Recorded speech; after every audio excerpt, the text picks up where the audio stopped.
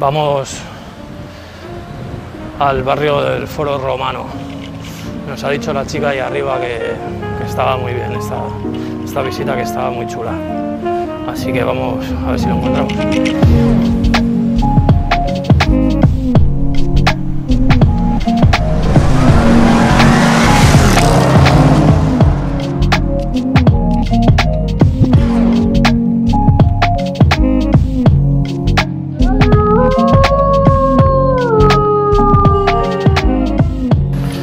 Estamos en la plaza de San Francisco. Están en obras o, están de poda. Pero es que hay cuatro cachos de árboles. Flipas.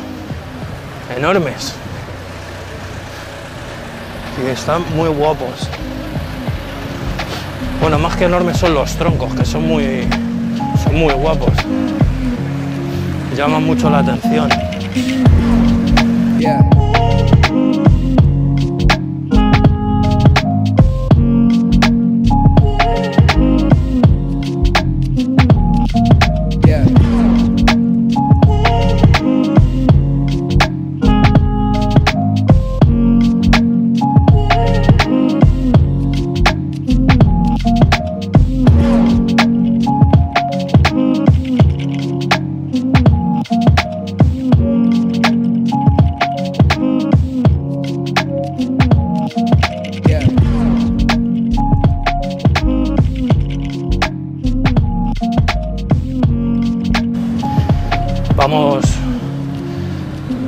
Al barrio del Foro Romano.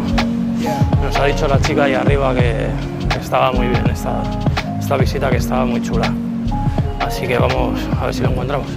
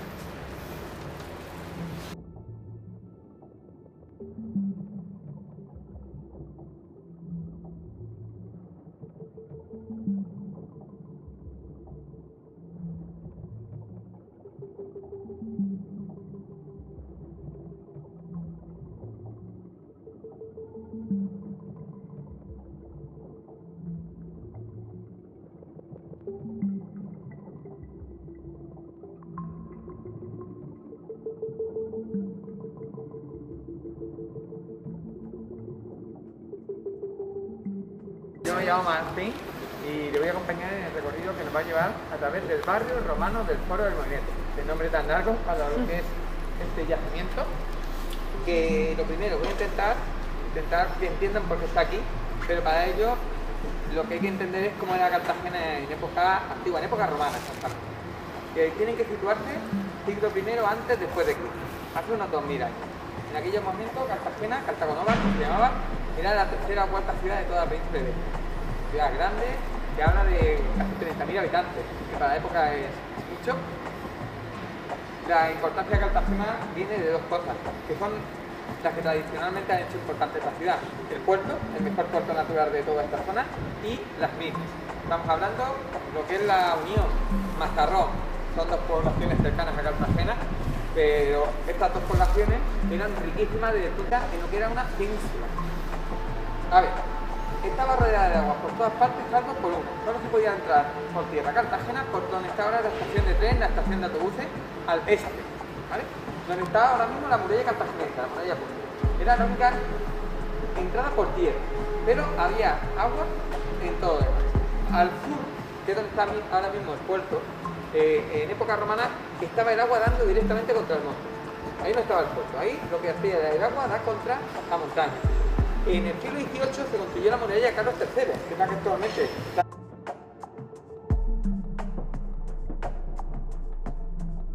Lo que tenemos aquí es una muestra de esto que comentaba de los distintos periodos. Esto es un horno, pero no es un horno romano. Esto es un horno del siglo XVIII, porque como a partir del siglo XVI, esto tiene que pensar que durante toda la Edad Media estuvo en el exterior. Entre más o menos el año 500 después de Cristo hasta el 1500 largo, de 1600, aquí no hubo. Después se establece el barrio del Molinete, que recibe ese nombre por los molinos de viento que se pusieron en la época, que había tres, y alrededor del molinete Tahona, para, o sea, panadería, básicamente. De hecho, se sabe que algunas de estas panaderías del molinete eran las que llevaban, ya no muchas, 5, 6, 7 personas. Normalmente en temas de este tamaño, lo que habría era separación horaria. Las mujeres venían por la mañana y hombres por la tarde. Generalmente, en temas de gran tamaño y en Roma hay temas con capacidad para 2.500 personas, lo que tenían era espacio para hombres y espacio para mujeres.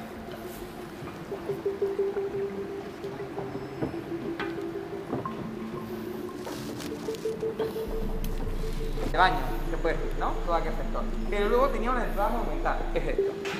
Demasiado monumental para lo que es el tamaño de las termas. Tiene- parece que tiene poco sentido, porque hace algo tan grande para unas termas monumentales. De este a oeste. Los romanos tienen dos tipos de calles. Las que van de norte a sur, eh, ellos llaman cardos. Vamos a pasar por uno. Y las que van de este a oeste, de comán. En este caso es secundario. El máximo, el principal, era el que estaba debajo. Porque es mucho más plano, mucho más, más ancho. Esta es una calle secundaria. Secundaria porque, por un lado, aquí, esta zona, lo que había era un aterrazamiento, un nivel de terraza hasta la siguiente terraza. O sea, un muro. Por eso muchas veces, cuando hablo de 19 niveles diferentes, no piensen que el teatro, por ejemplo, es el primer nivel. El teatro es el nivel número 5. Hay cuatro niveles anteriores. Es lo que pasa con ciudades como Cartagena. ¿Por qué hay tan pocos restos cartageneses en Cartagena? Porque tú excavas y llegas a un, periodo y después incluso si a la zona de las termas, para estar más cerca de los restos, se puede, ¿vale? Pero lo que vemos aquí es un edificio de reuniones y celebraciones. Le llamamos el edificio del atrio porque no sabemos cómo se llamaba originalmente por el patio que hay ahí en medio. A ver. Pues hemos salido del foro y la verdad es que ha sido una, una visita, hemos coincidido que justamente a qué hora hemos entrado, hemos entrado a la una. Hemos llegado, era la una y era, era hora de visita guiada. Si venís, que os lo recomiendo mucho, porque la visita, como os digo, ha sido, me ha resultado fascinante. Eh, nuestro guía ha sido Martín y, bueno, es, aparte de los conocimientos, eh, o sea, es un, o sea, es que lo vive, te tra- transmite su fascinación, te la transmite y, bueno, la verdad es que el foro ha sido, vamos, me ha encantado. O sea, creo, esa- finalmente tienes un rato libre, te deja y cuando he salido para despedirme agradecerle y tal, eh, ya no estaba. Y he olvidado al que estaba, he olvidado preguntarle, pero según todo lo que nos ha contado, eh, restos como los que aquí se encuentran en este foro eh, hay muy pocos en el mundo. O sea que tiene que estar, es- tiene que estar a un nivel top top de, de ruinas romanas y etc. Eh, bueno, como os digo, que eso ha sido una visita fascinante. Si venís, eh, mirar en la web y, os recomiendo la visita guiada porque es- va, va incluida en el precio de la, de la entrada. Nosotros no hemos tenido, al menos nosotros no hemos tenido que pagar más. Y éramos, éramos, éramos siete personas. Ah, Con lo cual ha estado, ha estado, ha estado genial. Eh, me ha gustado mucho y muy bien, muy bien, muy bien, muy chulo, la recomiendo.